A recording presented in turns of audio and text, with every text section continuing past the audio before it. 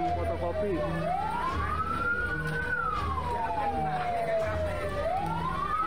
Kobaran api dan asap hitam tebal membumbung tinggi melalap kontrakan dua lantai di Tanjung Redep Berau, Kalimantan Timur, Kamis pagi.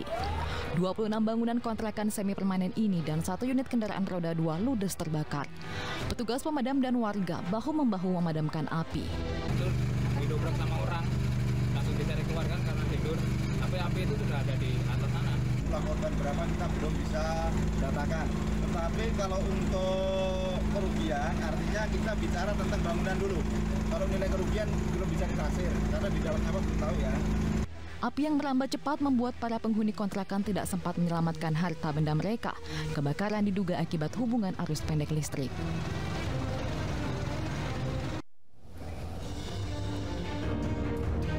Selamat malam, apa kabar pemirsa? Kebakaran yang menghanguskan 26 kontrakan di Berau, Kalimantan Timur menjadi pembuka jumpa kita di iNews Prime. Kami juga akan bahas ancaman penyakit mulut dan kuku pada hewan di tengah dekatnya Hari Raya Kurban. Saya Abraham Silaban, Anda menyaksikan iNews Prime.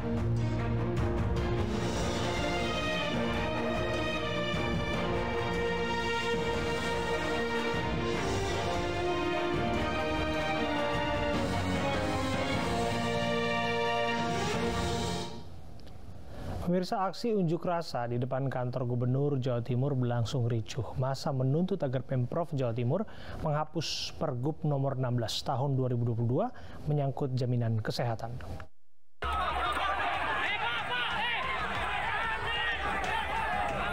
Ratusan orang yang tergabung dalam Dewan Kesehatan Rakyat yang berasal dari Bangkalan dan Sampang, Madura ini berunjuk rasa di depan kantor Gubernur Jawa Timur. Masa berusaha masuk dengan merobohkan pagar kantor gubernur dan menerobos barikade polisi. Masa geram karena Gubernur Jawa Timur Khofifah Indar Parawansa tak kunjung menemui mereka.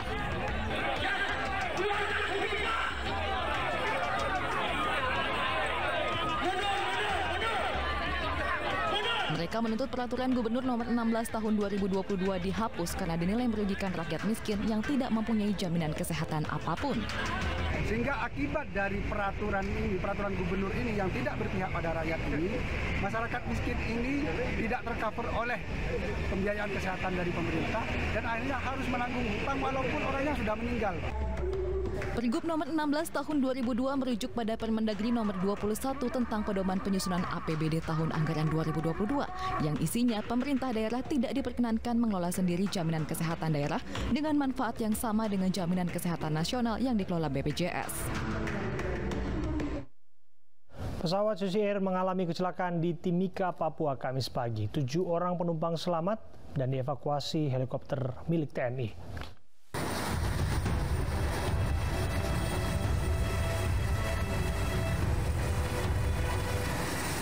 SAR gabungan berhasil mengevakuasi tujuh korban selamat dari insiden kecelakaan pesawat Susi Air.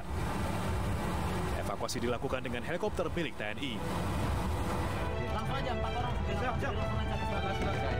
Usai tiba di Bandara Moses Kilangin Timika, lima korban langsung dibawa ke RSUD Mimika dengan menggunakan mobil ambulans untuk mendapatkan perawatan medis. Pilot pesawat yang merupakan warga negara asing mengalami cedera kaki kiri yang cukup parah.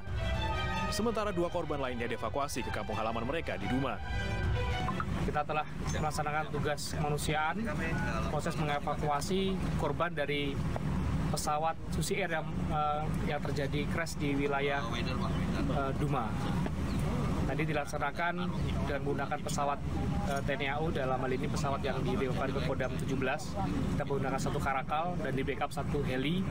Tapi alhamdulillah dengan satu karakal kita telah mampu melaksanakan evakuasi korban sebanyak tujuh korban. Pesawat Susi Air rute Timika Duma mengalami kecelakaan di Papua Kamis pagi. Pesawat sempat dikabarkan hilang kontak pada pukul 8 WIT. Pesawat yang berisi satu pilot dan enam penumpang lepas landas dari Timika pukul 5.34 waktu Indonesia Timur dan dijadwalkan tiba di Mimika pukul 8 waktu Indonesia Timur.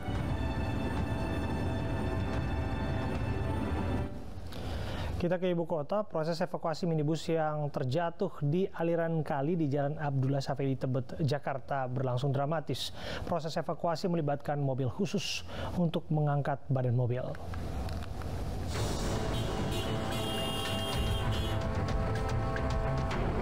Minibus yang terjatuh di aliran kali Jalan Abdullah Syafi'i Tebet, Jakarta Selatan dievakuasi. Evakuasi berjalan sulit. Petugas melibatkan mobil khusus untuk mengangkat badan mobil dari dasar kali. Evakuasi minibus berlangsung selama satu jam. Karena untuk kendaraan kan tadi ada di kali, ada di kali dan relatif dalam. Untuk derek yang kecil yang pakai seling, tali nggak kuat. Jadi memang kita punya alat ini. Proses evakuasi minibus menarik perhatian warga dan sempat membuat arus lalu lintas di sekitar lokasi terganggu. Sebelumnya sebuah minibus yang berpenumpang tiga orang terjun ke kali di Jalan Abdullah Syafi'i Tebet, Jakarta Selatan pada Kamis dini hari. Kecelakaan dipicu karena sopir mengantuk saat berkendara. Tiga penumpang termasuk sopir terluka akibat benturan. Kasus kecelakaan tunggal ini ditangani unit laka lantas wilayah Jakarta Selatan. Dari Jakarta, tim liputan iNews melaporkan. Keluarga Buya Arazi Hasim mengaku ikhlas atas kepergian anak balitanya dan tidak akan melaporkan pemilik senjata api putra kedua mereka meninggal dunia karena tak sengaja tertembak oleh kakaknya saat sedang memainkan senjata api milik polisi.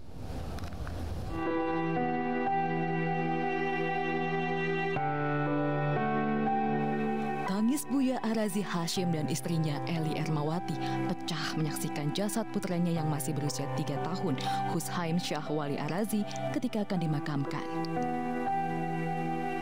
Putra kedua mereka tak sengaja tertembak oleh kakaknya saat sedang memainkan senjata api milik polisi pengawal Buya Arazi. Saat itu pengawal Buya Arazi yang merupakan anggota polisi sedang sholat zuhur di masjid.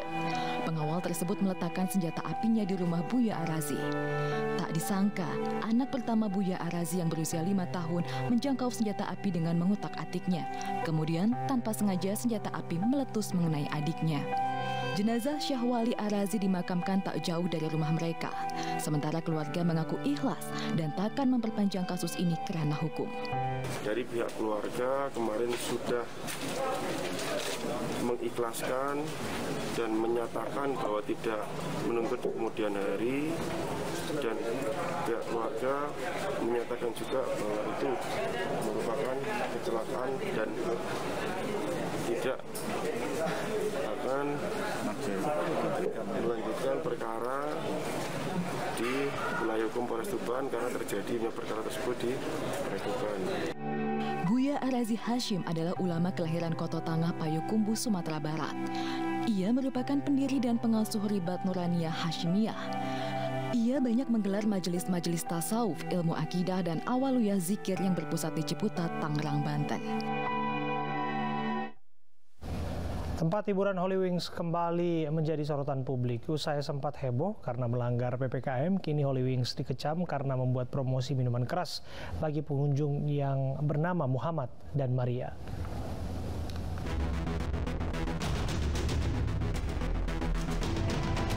Salah satu tempat hiburan ternama di Jakarta, Holy Wings kembali menjadi sorotan. Pasalnya, melalui unggahan di Instagram, Holy Wings membuat promosi gratis minuman beralkohol setiap hari Kamis bagi pengunjung bernama Muhammad dan Maria. Kecaman pun bermunculan dari warganet. Mereka menilai hal tersebut tidak pantas karena melibatkan nama Nabi untuk promosi minuman keras. Kecaman juga datang dari GP Ansor DKI Jakarta. Mereka bahkan mengancam akan menggeruduk tempat hiburan ini. DWGP Ansor sangat terpukul dengan adanya promosi tersebut.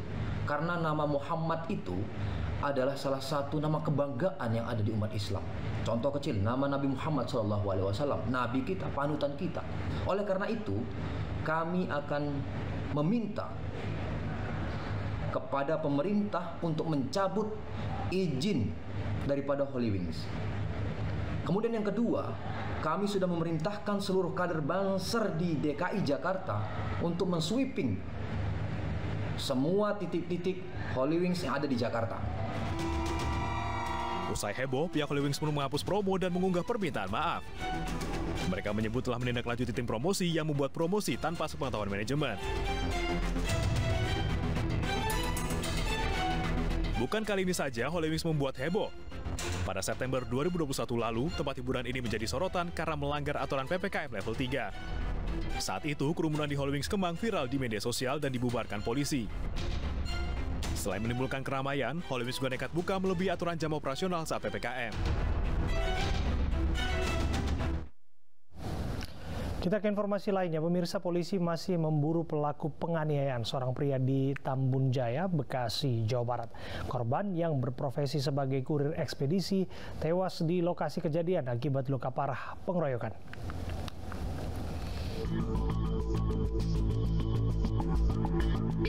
Polisi hingga kini masih memburu tiga orang pelaku penganiayaan seorang pria hingga tewas di Tambun Jaya, Bekasi, Jawa Barat. Aksi sadis ini terekam kamera pengawas warga sekitar. Korban tewas di lokasi kejadian karena luka parah yang dideritanya. Korban merupakan Joko Wibowo, 31 tahun, warga Kalibaru, Tridaya, Tambun Selatan yang berprofesi sebagai kurir perusahaan ekspedisi. Dari depan lari-lari masuk ke dalam terjadilah uh, pukulan uh, di bawah tiang lampu depan kantor RW. Itu dua kelompok atau perorangan? Yang korban satu orang, yang meroyok tiga orang. Oh, satu lawan tiga. Ya. Eh? Nah, itu nggak kelihatan, aku juga nggak paham itu, karena aku juga uh, melihat dari CCTV. Pelaku menganiaya korban karena tidak terima diteriaki korban saat melintas di lokasi. Kita akan bahas isu ini bersama dengan kriminolog Universitas Budi Luhur, Monica Margaret. Selamat malam, Mbak Monica. Iya, selamat malam Mas. Ya, Mbak Monica, meskipun pelaku belum dibekuk petugas, sedikit banyak tentang background kasus ini sudah kita dengar. Awal mulanya adalah ejekan atau umpatan kasar, namun menyulut emosi hingga pada akhirnya terjadi pertikaian yang menghilangkan nyawa korban. Apa yang Anda cermati? Ya kalau kita lihat dari sisi korban gitu ya eh, kemungkinan besar akhirnya bisa menjadi korban ya karena eh, kalau kita lihat dari berita gitu ya akibat eh, kesalahannya diri sendiri gitu ya karena merasa depresi, karena pekerjaan, kemudian memaki-maki orang yang lewat di sekitarnya, ya. akhirnya menimbulkan uh, orang melakukan uh, penganiayaan pada dirinya. Nah, tapi kita juga tidak lepas dari analisa para pelaku kejahatan gitu ya Mas ya kalaupun tadinya uh, para pelaku kejahatan bisa mengontrol dirinya gitu ya mengendalikan emosinya hal ini mungkin tidak akan terjadi tapi kita lihat di sini uh, tindakan pembunuhan yang terjadi saat itu juga bukan hanya sekedar uh, spontanitas saya rasa gitu ya hmm. tapi perlu diselidiki lebih lanjut oleh pihak kepolisian nanti Uh, kalau menurut saya pasti ada faktor-faktor lain yang melatar belakangi gitu ya. Motif dendam maksud Anda, Mbak Monika? Uh, kalau itu mungkin nanti dari hasil penyidikan kepolisian, tapi secara umum biasanya ada tekanan-tekanan secara sosial atau psikologis dari para uh, pelaku ini gitu ya mas ya yang ter tertanam selama ini gitu ya tertumpuk okay. lantas uh, akhirnya menyebabkan mereka melakukan pembunuhan atau mungkin nanti dari hasil uh, kepolisian pemeriksaan kepolisian penyidikan kepolisian di, okay. di dilihat bahwa uh, apa ada pengaruh minuman keras atau hmm. penggunaan narkotika. Ya belakangan kan kita mendengarkan bahwa korban dalam tanda kutip merasa stres uh, sebagai seorang kurir uh, akan pindah tugas begitu setidaknya itu yang disampaikan oleh uh, istrinya uh, tapi kemudian ketika dia mengumpat orang di jalanan kemudian orang lain merasa tersinggung emosional dan lain sebagainya uh, nampaknya dua-duanya tidak bisa menahan diri di sini atau memang pada akhirnya ada sudut pandang lain yang ingin Anda sampaikan? Ya, artinya kita melihat bahwa kota metropolitan memang kotanya konflik gitu ya Mas ya. hmm. ya. Karena latar belakang karakter orang, latar belakang kepentingan, latar belakang masalah masing-masing individu berkumpul menjadi satu gitu ya di kota metropolitan termasuk juga wilayah Bekasi. Nah, Uh, kalau tadi ternyata masing-masing uh, uh, karakter dari pelaku ataupun dari si korban ternyata mengalami tekanan sosial sendiri itu tadi -huh. yang saya sampaikan Seba se sebaiknya uh, memang kita sendiri yang melakukan pengendalian sosial. Tengah-tengah tingkah laku kita sehari-hari gitu ya mas ya. Bagaimana kita ketika menghadapi uh, permasalahan stres depresi okay. atau permasalahan kehidupan yang lain uh, kita bisa apa ya uh, lebih bijak untuk mengambil setiap uh, tindakan okay. keputusan gitu ya mas ya. Iya, nampaknya memang menarik untuk kasus yang satu ini disebutkan memang korban sering cekcok dengan tetangganya. Belakangan sebelum yang bersangkutan keluar rumah pun istrinya sudah menitipkan untuk tidak cekcok dengan orang lain karena ada punya kebiasaan ketika saling bertatap-tatapan begitu dengan orang yang ada di hadapannya, nampaknya akan ada umpatan yang disampaikan. Ini hal-hal yang barangkali penting untuk dijelaskan dari sudut pandang kriminal kriminolog Mbak Monika? Ya, uh, benar sekali Mas. Jadi ketika kita bicara mengenai kriminologi tingkah laku jahat seseorang gitu ya, nggak lepas juga dari penjelasan ilmu psikologi, psikologi kriminal gitu menjelaskan bahwa memang e, karakter seseorang gitu ya tidak terbentuk dalam waktu yang instan. Hmm. Artinya memang karakter seseorang ini terbentuk dalam jangka waktu yang lama, mulai dari anak-anak, remaja hingga dewasa. Nah, kemudian ada masa-masa tertentu yang akhirnya menjadi apa ya e, semacam pembentukan karakter ketika orang sudah dewasa. Mungkin selama ini di masa anak remajanya ya tadi ya Mas ya Eh, terbiasa hmm. untuk meluapkan emosinya secara okay. secara brutal gitu ya sedangkan tidak ada pihak-pihak lain yang bisa menjadi uh, pengendali atau pengaman gitu ya akhirnya uh, karakter ini yang terus-menerus terbawa di dalam hmm. kehidupan sehari-hari gitu jadi ini memang perlu perlu diperhatikan ketika seseorang ternyata uh, dapat dengan sangat mudah yeah. sulut emosinya gitu ya berarti ada faktor-faktor lain Baik. yang ternyata menjadi apa ya uh, pelengkap pelengkap gitu ya mas ya untuk akhirnya seseorang uh, bersifat abusif. Gitu. Oke, tapi apa pun itu, setiap tindakan kejahatan tidak bisa ditolerir. Kita dukung aparat untuk uh, mengungkap siapa yang bertanggung jawab di balik ini semua dan ditindak secara tegas di mata hukum. Terima kasih atas waktu Anda, Mbak Monica Margaret. Pengendara motor tewas seketika lantaran setelah tertabrak mobil di jalan raya. Sementara seorang pria dikeroyok warga lantaran membawa senjata tajam ke perkampungan malam hari.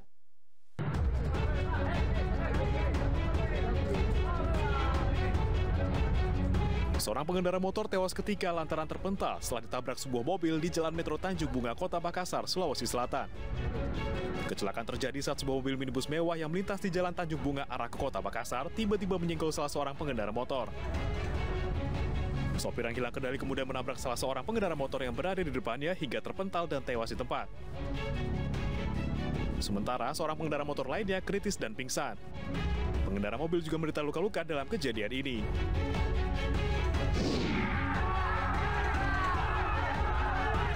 Gara-gara membawa senjata tajam tengah malam dan melintasi kebun sengon warga, seorang pria berusia A di Jember, Jawa Timur menjadi bulan-bulanan. Warga menduga pria yang membawa senjata tajam ini akan mencuri. Saat dibawa ke balai desa setempat, A membantah hendak mencuri. Ia mengaku hanya ingin menjenguk dan memberikan uang untuk anaknya. Kendati demikian, dia tetap diproses hukum karena membawa senjata tajam hingga membuat warga ketakutan.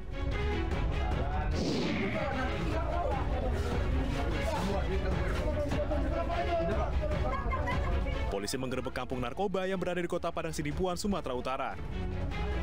Dalam penggerebekan ini, polisi menangkap enam orang pria yang diduga bandar, pengedar sekaligus pemakai narkoba. Hasilnya, enam orang dinyatakan positif menggunakan narkotika, satu di antaranya merupakan ASN Dinas Perhubungan. Tak hanya mengamankan para pemakai, polisi juga berhasil menangkap seorang pria yang diduga merupakan bandar syabu. Pasalnya saat digeledah sepeda motornya, polisi menemukan satu bungkus narkoba seberat 10 gram.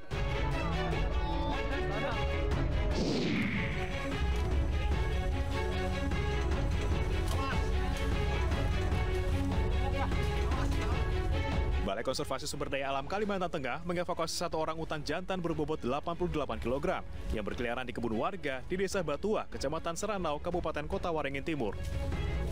Evakuasi primata ini berjalan cukup dramatis karena orang utan masuk ke dalam semak belukar yang sulit dijangkau petugas. Tembakan obat bius terpaksa dilepaskan untuk memudahkan proses evakuasi.